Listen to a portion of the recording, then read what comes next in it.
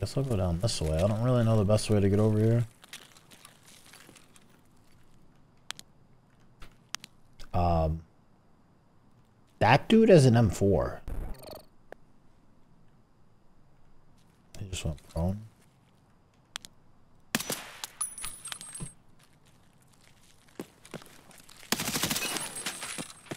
Okay, I thought that was maybe a teammate. I mean, like...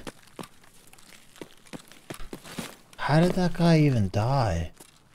Like, I really want to grab that M4, but like at the same time, like, dude, he's he's just in the middle of the street. No, I hear something.